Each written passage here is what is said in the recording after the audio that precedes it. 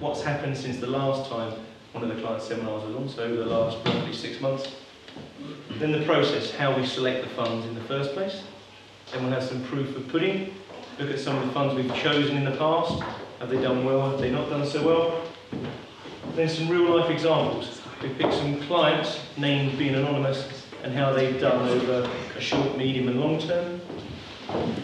Actually patient compounding, what our returns have been since we've running the portfolios. Going to look at the risks. Are there any risks? It's a very, very uh, quiet time.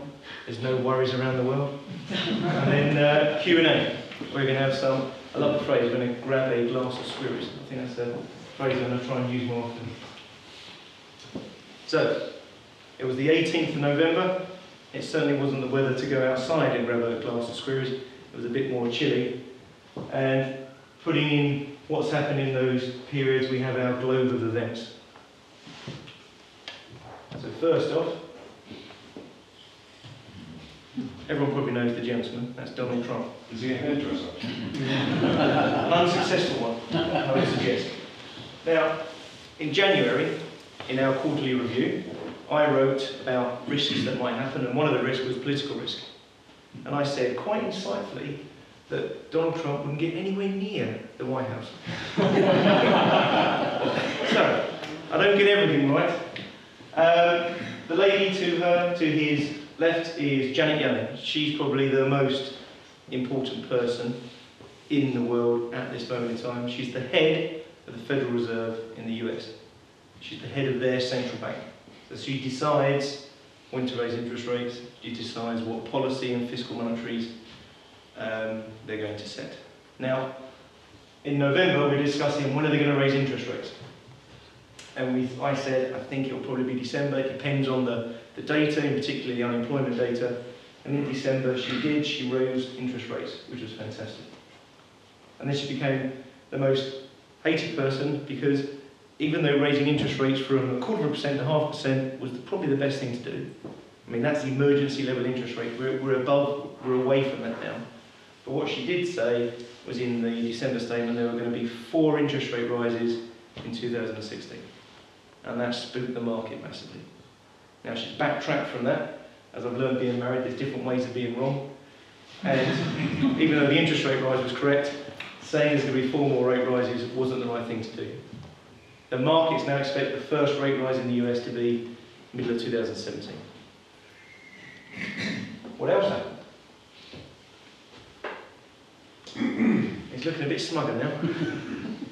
Donald started winning some of the uh, primaries, getting more support. Hillary was very surprised. She'll probably be the Democrat candidate. Assad in Syria, so the Middle East was kicking off all over again. More terrorism, unfortunately. And no, that is not me. That's my North Korean twin, Kim Il-sung. Uh, sanctions were being imposed on North Korea, whatever good that's going to do. Then we had the announcement, what everyone was waiting for, that there was going to be a referendum on the UK staying in the EU. So David was taking up the mantle of the Stay In campaign, and Boris, let's be honest, we can get some nice pictures of Boris, but we want a crazy picture of Boris. Boris took up the mantle of let's leave. Finally, we had the terrible atrocities in Brussels, as well as other acts of terrorism, around the world. That's a constant threat. It's one of those things you can't really invest against. You just have to be prepared that there are going to be times where the markets are affected by things out of your control. And Mossack Fonseca, does that ring a bell to anyone? Mm-hmm.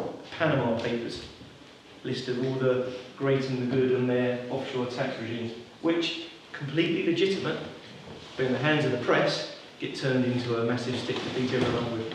So that's what happened over six months. We stayed extremely quiet and nothing went on really. And that's what the markets did in the last six months. January was pretty much falling down. And this point here, the 11th of February, straight back up again.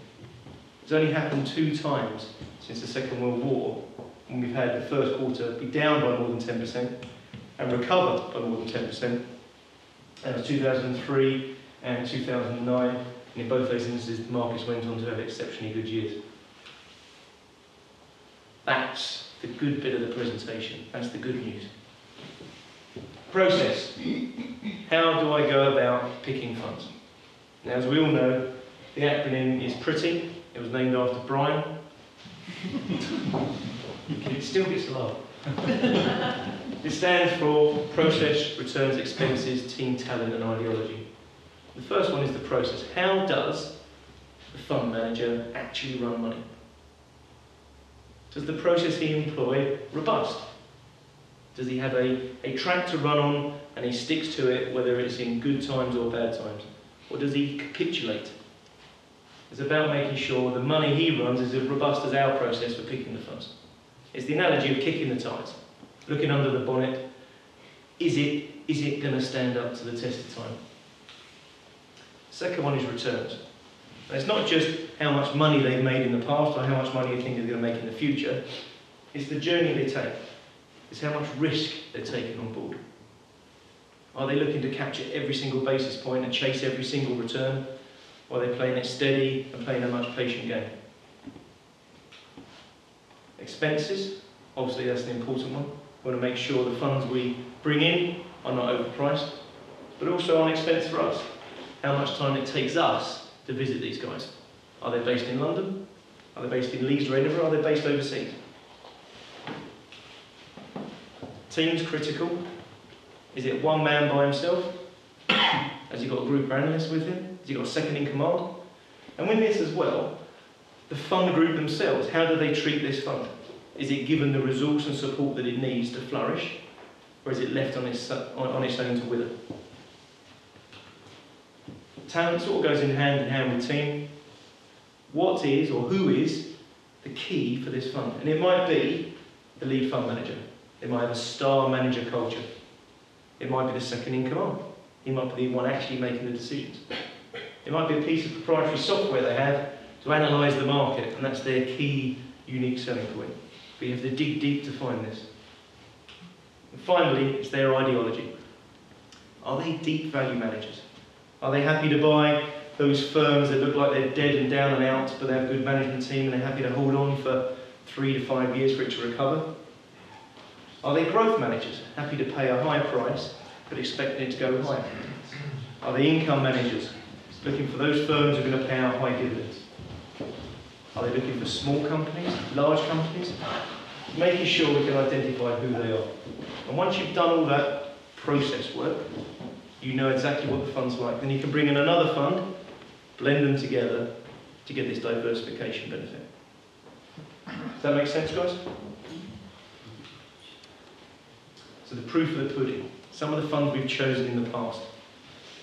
We looked at the portfolios back on the 1st November 2004, and this is one of the funds we had in our portfolios at the beginning. This is BlackRock Gold and General.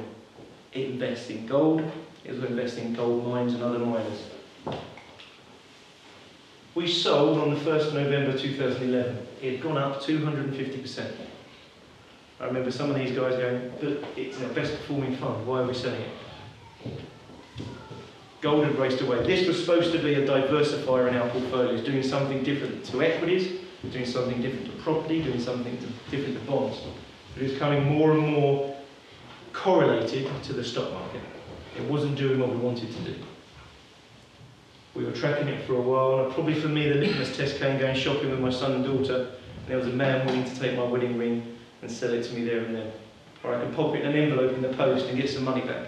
If I'd have told my nan to fill this envelope full of jewellery and send it off, she would have thought I was crazy.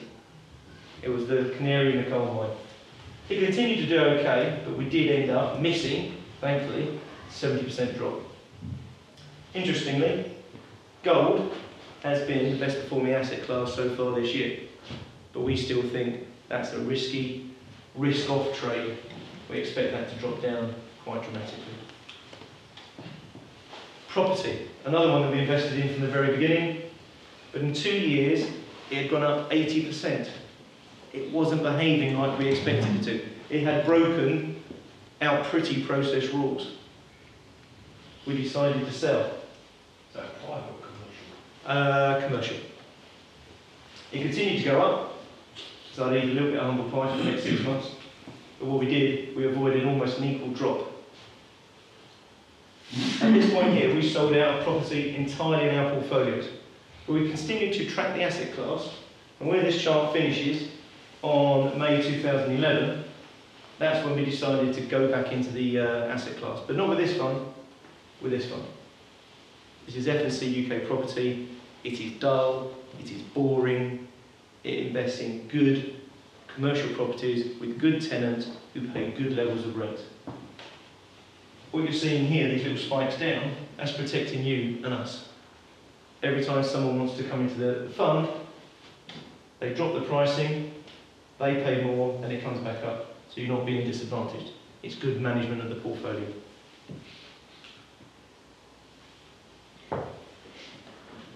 UK equities. You've got the, the turquoise line at the top is BlackRock's UK Absolute Return Fund.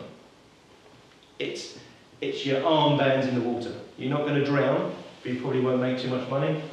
The dark blue one is Thesis Cartesian UK Opportunities Fund, just rolls off the tongue. We sold them both a year and a half later, but for different reasons. Cartesian we got wrong. They weren't doing exactly what we thought they'd do. The expectations were low, dropping below the sector average here. They recovered a little bit here, but in the end, hands up, we got that one wrong. Time to get out. Also, we felt it was time to get out of this fund as well, because this was at the time the financial crisis had just, as we weren't sure, but just finished. March 2009, May 2009, just in the bottom of the financial crisis. So we sold out them both for different reasons. Interestingly enough, the guy who's running this fund ended up going a little bit off the rails three or four years later and got done for insider trading. What we did invest in was Kaynes UK Opportunities Fund, steady fund, mainly mid-cap. I'm going to blow the lights out, patient compounding of the funds they invested. As you can see at the end, the black line is the FTSE All-Share, considerably beaten the FTSE All-Share, considerably beaten Cartesian, what we invested in. Very new fund. This is Fidelity's Asia Pacific Opportunities, run by a guy called Anthony Srom. Only launched in 2014. Got on our radar six months later. We were tracking him. The fund was a million pounds in size. It was tiny. Now, a lot of people won't invest in a fund until it's got to 50 or 100 million. A lot of people won't invest until he's got a track record of three years. We met with Anthony three or four times, and we decided to invest in July. At that point there, we own 90% of the fund. Since then, that fund has gone up 14%, and the market has gone down 6 It is the number one fund in Far East equities over that time period. It's about having faith in the managers and their process. The one thing that sold it for us, Fidelity was giving this guy all the resource he needed to make this fund work. America, similar picture, Loomis Sayles, tracking it for a while, we decided to invest in there. While the market's gone flat, these guys have put out a good 10% return. Proof of the pudding. So we can look at the rewards now, not those type of rewards, but the rewards some clients have made. I've got three examples of real life clients. I think that's the best one.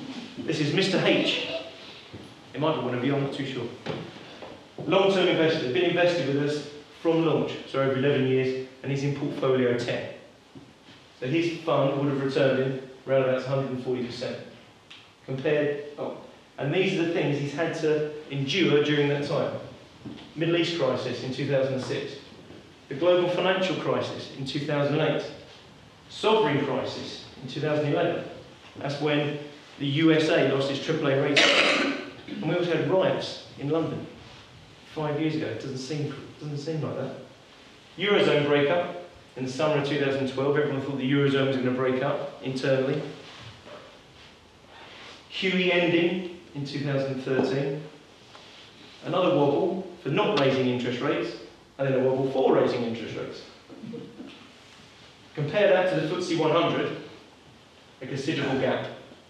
Compare that to the average fund that's got the same level of risk, massive gap. and we put inflation in there for you. Let's be honest, we're all looking to beat inflation, make sure that the value of our money doesn't erode over time. So that's our long-term example. Mr. D is our medium-term example. He's in portfolio five. He's been invested for just over five years. Again, he suffered the same sort of environment. Sovereign crisis, Eurozone, the taper tantrum. That's when the head of the Federal Reserve said, we're going to stop QE at some stage. Everyone got worried there. There's the FTSE 100. Over the period, portfolio 5 has beaten it, even though it's taken about half as much risk. That's the average of the fund, and again, beating inflation. Finally, Mr. K, short term, they've been invested three years, this is portfolio two. Taper tantrum, QE ending, not raising interest rates, not managing expectations that Janet Yellen saying there's going to be four rate rises. That's what the average fund has done, but it's beaten inflation over that period as well, which is critical. Even though it's taking considerably less risk than the FTSE 100, if we put the FTSE 100 in, you can see how volatile the last three years have been.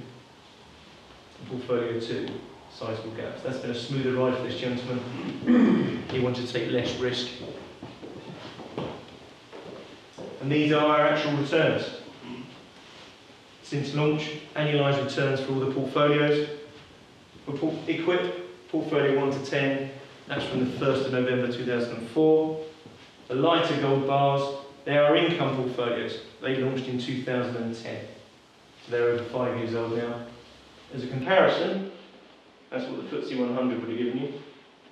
So portfolio 6 and above, the FTSE is roughly just done a little bit better than 5. But interestingly, bank account and inflation, 2% over nearly 12 years. Yes. Is that with fees taken out? It is, yes. The net fee? Yeah, that's net figures. So we've gone through the rewards.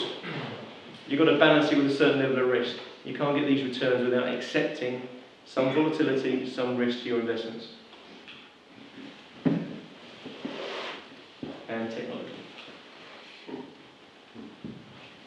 Let's go east first.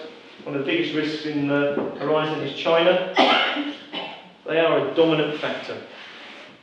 Even the US are wary over China. When you when you read the minutes from the central banks, oh, does anyone read the minutes from the central banks? Really? Only me? When I read the minutes from the central banks, Janet Yellen is very concerned about China. When she talks about global risks, she thinks she means China. Will it have a hard landing, which is a way of saying, will it go into recession? No, we don't think so. It's not going back to growth of 14% every year. It's probably going to be around 6% per annum. But when the rest of the world is growing at 2, 6 sounds pretty good to me. They're also transition their economy. Old China, where it was using up all the natural resources, coal, iron, copper, big factories, big smokestacks, they're moving away from that.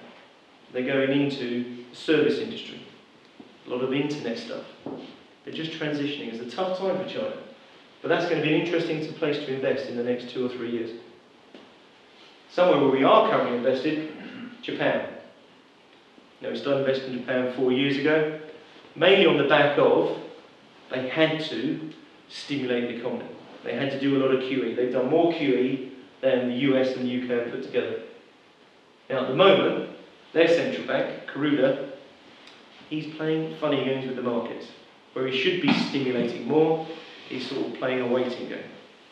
We still think a long-term investment is great, but we think over the next six months, China, uh, Japan probably has a bit more risk than we'd like, but it's a long-term investment. We're not here to dip in and out. We take the small bumps along the way. We go west to Europe. Wow, way to pick. Let's go Greece first. Hey, guess what? They can't repay their debt. That's coming up in two months' time. And there's talk of giving them some sort of relief on their debt. So that's going to hit the market, the headlines again soon. Spain.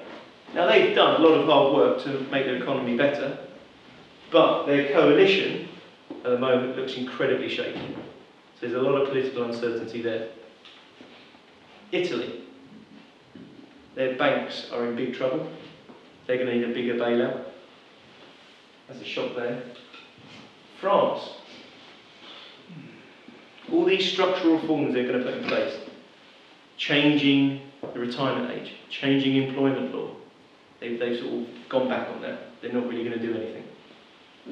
Germany, Angela Merkel, probably the one leader in all of Europe who survived the global financial crisis, her approval rating is at an all-time low. Whether she survives again is a big question. And the UK, Brexit. That's the nearest risk on our horizon. Found this a couple of days ago. Google Trends. Anyone heard of Google Trends? It is brilliant. Type in Google Trends and it says, what would you like to look at? And you can put in cats. And it'll tell you how many people are searching cats at a particular time. So I put in leave EU and stay in EU. And you can see pretty low until we hit here, and this is the announcement from David Cameron when the uh, referendum is going to be. So here we have three times as many people Googling leave the EU than stay in the EU. And that might not mean anything. If you go into the Financial Times referendum picturegram, it's 46% stay, 44% leave, and whatever the middle bit is. Which I don't deal with numbers. what are the experts saying? We had, oh, say we had, look at these. In the flesh, some of you lucky people might be able to away with one of these. So we had three different reports out pretty much within the same week. Centre for Economic Performance here. We had the um, CBI, and we also had Oxford Economics saying the implications of leaving the EU. And every single one pretty much said the same thing. If we leave the EU, it all depends on what trade agreement we can get in place. And the trade agreement that looks the same as pretty much we've got now will be the best. Now, funnily enough, the campaign for leaving debunks all these. Campaign for leaving comes out with something. The campaign for staying debunks that. It's a bit playground politics at the moment. But what we see in the marketplace, in these lovely graphs, this is sterling. So from here to there, that's against the dollar, that's against the euro. Sterling's depreciated significantly. This is the most interesting one here, or for me anyway. The darker line is shorting the market. That's investors betting the stocks will go down. The lighter line is buying stocks, betting the stocks are going to go up. You can see there's been a massive increase in the amount of people thinking the stock market's going to go down between now and the vote. This is what's actually happening. This is the volatility index. They call it the fear gauge here and here, that's when people are worried. But at the moment, the market's fairly sanguine. There's nothing to panic about just yet. And this chart here is the European stock market last summer when we were all worried about Greece. That was the D-Day, massive rally. So it's not all doom and gloom, but expect to hear a lot more about Brexit going forward. But what it's all about. about Boris versus Dave. I'd love to say I came up with that, I really would. In the green corner, green for go, it's going to be about migration, it's going to be about cost. Very much like the general election. It's going to be fought on two or three things. David, in the red corner for stop, it's going to be about security, and it's going to be about the economy. They're the main, main areas. But once we've got through the 23rd of June, that's the biggest risk, really. US politics. He's gone from there to there. He's going to build his wall across everywhere. He hasn't ruled out nuking Europe. And his foreign policy is going to be a guarded secret. He doesn't want to tell everyone what he's doing. Goodness me. But politics is probably the biggest thing you have to worry about. Now that's not an advert for the Euro 2016. It is about different parties coming to the fore across some of the major areas in Europe. We've already seen with Greece. We've got Alexis Tsipras, who came through, and Yanis Varoufakis. Took me a long time to remember those names. Uh, in Spain, this is the head of their anti-austerity party. That's Pablo Iglesias. In Italy, there's two guys. I'm not making these up. That's Beppe Grillo, and in a previous life he was a clown. Seriously, he was a circus clown. A bit like Trump. And we've got uh, Matteo Salvini Trump's definitely. on the, uh, I think that's the Italian equivalent of GQ, I'm not entirely sure. He's head of Lega Nord, anti-austerity, both want to be out of the Euro, EU. Marine Le Pen, very left-wing, very anti-EU, very anti-austerity. These guys are getting traction, although recently they've been managed to push back from the votes they've had. We're seeing more and more come through. Politics has to be the number one risk that faces our portfolios at this time. It's a hard one to invest for. It's something we can't necessarily avoid or there's a particular fund that's going to benefit from these. We just have to make sure we understand the implications if these guys get in and what the odds of, odds of these guys getting in as well. Did you say Le Pen is left wing? All right, I, I get confused, I'm, I'm dyslexic. You'll be pleased to know that is the end of the presentation.